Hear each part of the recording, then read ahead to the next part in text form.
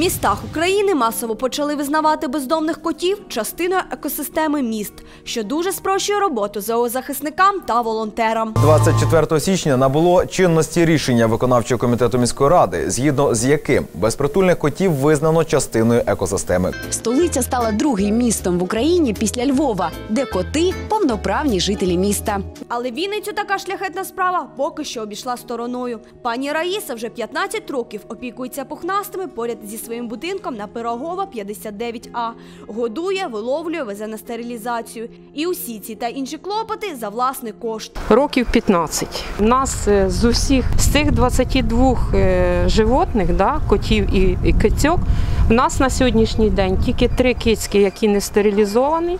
Ну вони не стерилізовані чому? Тому що важко їх дуже зловити. Да, я займаюся цим, я ловлю, я везу туди на стерилізацію. Я ось кицька у мене від четверга в квартирі. Я її закрила, тому що холодно. Ясна річ, така турбота добряче спустошує гаманець пенсіонерки, але завдяки небайдужим сусідкам ще якось тримається. Двоє людей це старі жінки, яким під 80. І вони від пенсії відривають. Кажуть, ці жінки віддають чи не останні копійки, щоб дати котам принаймні гарячу їжу та напої, особливо у дні морозів, аби тварини якось виживали. Скаржаться, що люди надто жорстокі та невспівчутливі. На даний момент у нас дуже холодно, і е, вони сидять і просто чекають, коли, коли до них прийдуть з цією теплою їжею. Я прошу тих людей, які не хочуть любити тварин, просто, просто не заважайте. Не е, перекидайте їхню водичку. Дуже багато от на зупинках ми буває годуємо, водичку наливаємо, їжу, перевертають їжу, виливають водичку або кидають бочки. Ось Не хочеш ти цій тварині нічого дати, то не забирай в неї те, що є. Деякі вважають, що коти це антисанітарія, бруд та хвороби. Але зоозахисники та волонтери впевнені, що людина несе суспільству більшу загрозу аніж тварина. В моєму дитинстві це не було дикістю, коли коти існували в подвалах, е, пересувались по під'їзду. Зараз е, для людей це чомусь їх лякає. Вони кажуть, що тваринки становлять загрозу, розводять грязь, але зачасто це роблять люди, а не тваринки. Ветеринарні клініці кажуть, що коти можуть переносити різні небезпечні хвороби для людей, але насправді такі випадки зустрічаються вкрай рідко. Це грибкові інфекції. Все остальне ну якщо там не брати якихось конкретних листів.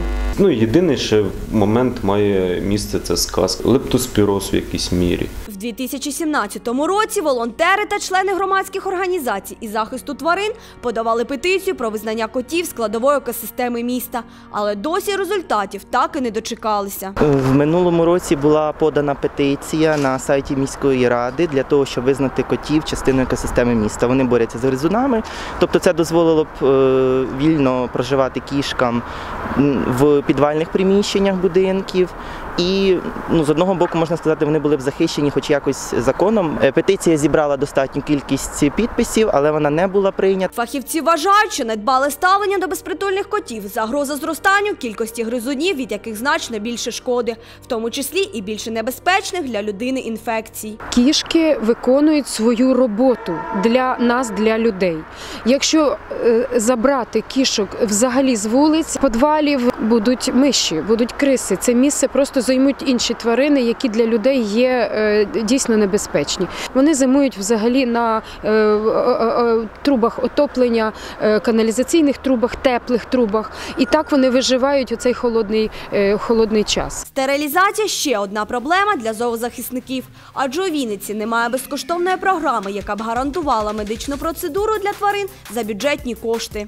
Ситуація з безпритульними кішками в нашому місті досить гостро стоїть, тому що вона, можна сказати, не вирішується. Головною проблемою є те, що немає безкоштовної стерилізації, яка могла б вирішувати кількість збільшення популяції безпритульних тварин. В європейських країнах до котів особливе ставлення. Влада піклується про тварин. В багатьох європейських містах е, котам навіть дозволено вільно пересуватися, і е, багато міст е, навіть спонсують те, що встановлюють будиночки за, за кошт міста, містечок. І є люди, які опікуються цими тваринками. Е, годують їх. Так також буває деякі міста і виділяють на корм навіть. Не всі, але є й такі. Заступник директора департаменту житлового господарства Сергій Гречанюк каже, петицію не бачив та виганяти тварин з підвалів чиновники не збираються. Хочу зауважити те, що підвальні приміщення е, і будь-які інші місця загального користування вони, на жаль, не призначені для перебування там тварин. Якщо є тварини безпритульні, для них є відповідні притулки. Ми е, централізовано не е, перешкоджаємо їхньому потраплянню в підвали, тому що розуміємо, що вони всі є е, істотами. Міська влада у Вінниці мала б давно посприяти створенню умов для бродячих котів та перейняти досвід інших міст та країн. Тож якої допомоги від мерії чекати зоозахисникам та волонтерам, та яке обивати пороги, щоб їх все ж таки почули. Анастасія Клименко, Сергій Вішньовський, Народний контроль, Вінниччина.